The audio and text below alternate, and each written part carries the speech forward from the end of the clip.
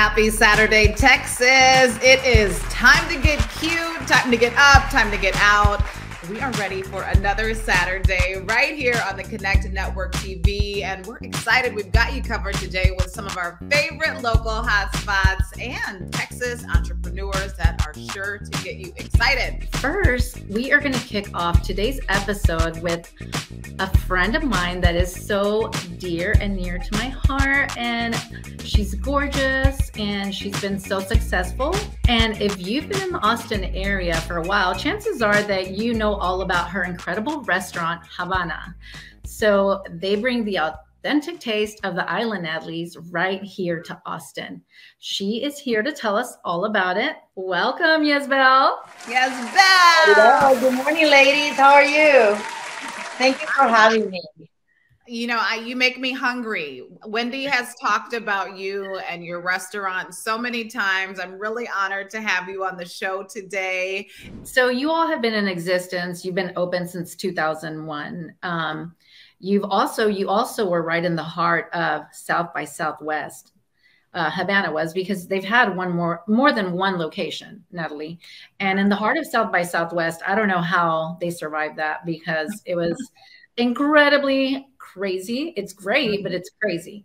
Um, that's a really long time and a lot to work with, um, especially in the restaurant business. Yasbel. So give us a little bit of insight um, on actually running a successful business. When we spoke about opening a restaurant we said, in my mind, I was just going to go in in the morning, collect the deposit, and go make the deposit.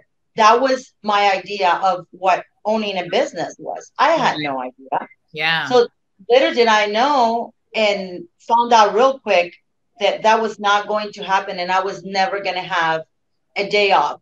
I would go home at 3 a.m. But then we had private parties and I was pumping 400 tacos and Bloody Marys by, you know, 10 a.m. the next morning. So, and then, as you know, that's, um, you know, spring break for the kids. Part of uh, being a business owner for me was juggling motherhood and mm. owning a restaurant. Mm. And the part of a woman that we always feel guilty. If I'm not at work, I'm neglecting the business. If I'm not with my daughter, I'm am I not a good mother? Right. Uh, but it worked out.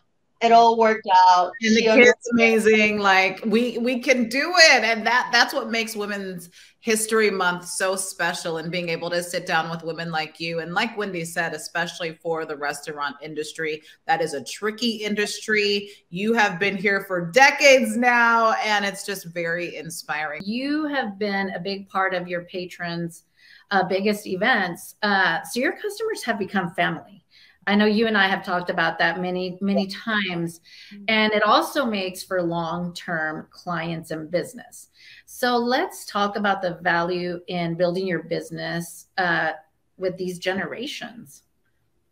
It's, it's, that is the most rewarding part of my business is seeing generations, like looking back and remembering that four year old girl sitting with her little dress coming um, to the restaurant after church and then their parents contacting me because they want to stop, have a reservation for 20 30 people to uh, to celebrate their high school graduation.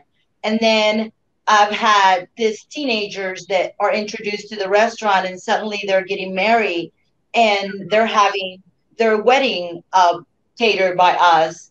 And then later on their children's baptism uh, we just i just I have an amazing, very dear customer of mine that just turned 100 years old. We sent her a video from the restaurant, um, from from the employees and her Habana family. It those moments are priceless. Just priceless. Yes. Well, Yasbel, I got to tell you, I'm so honored to have you here. Next time I'm I'm in Austin. Okay, just I'm telling you now, write it down. I'm coming to Habana. So come on by. Check out the Habana Beach Bar, uh, okay. which is open our patio, and we're going to be featuring. Um, we're going to be featuring DJs and bands, and um, we're going to be doing some farmers markets out there. We're going to have a crawfish boil on uh, April 16th as well. We're going to okay. be doing some events back there. Nice. So for those that that are just learning of Habana, which I'm pretty sure everybody knows about Habana, but um, can you share with us your hours of operation and anything where they can go to your website as well? Okay, so it's um, Habana is located at 2728 South Congress Avenue, okay. uh, 78704 area code. I'm not area code, zip code. Sorry, and uh, we are open Sunday through Thursday from 11 a.m. till 10 p.m. and Saturday and Sundays up until 11 uh, p.m. HabanaAustin.com is our website. HabanaAustin.com. You guys have been able to see the website. We've been we've been showing you out, showing everybody a little bit about uh, what you have to offer. We're grateful for your time today. Thanks for being with us. Thank you for having me. Well, coming up next, yes, Wendy, Habana, here we come.